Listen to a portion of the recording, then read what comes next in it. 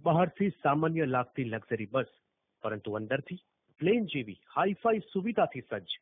આ સુરતની એક ટ્રાવેલ એજન્સીએ મુસાફરોની સુવિધાને ધ્યાનમાં રાખી બે કરોડના ખર્ચે ખાસ સુવિધાયુક્ત બસ ડિઝાઇન કરી છે.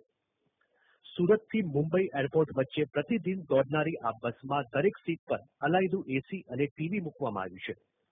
આ બસમાં મુસાફરો માટે નેટ, લેપટોપ સ્ટેન્ડ અને મોબાઈલ ચાર્જર મૂકવામાં આવ્યા છે. તો લાંબી મુસાફરી દરમિયાન અગવડ ન પડે, તે માટે પેન્ટ્રી રૂમ ફ્રીઝ અને વેક્યુમ ટોયલેટની સુવિધા પણ આપવામાં આવી છે.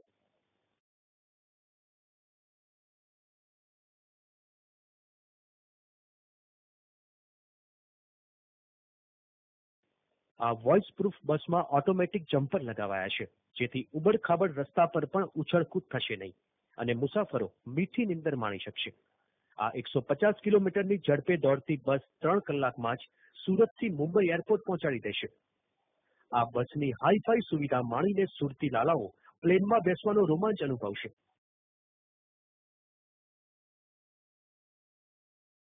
ડાયમંડ અને ટેક્સટાઇલ હબ સુરતના વેપારીઓને એર કનેક્ટિવિટીની સમસ્યા સતાવી રહી છે.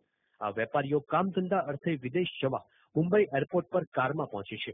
ત્યારે બે કરોડની અદ્યતન બસ મુંબઈ કે વિદેશ જતા વેપારીઓને અદ્યતન સુવિધાની સાથે આરામદાયક મુસાફરી પૂરી પાડી શકે છે. Parul Mahadik, TV nine, Surat.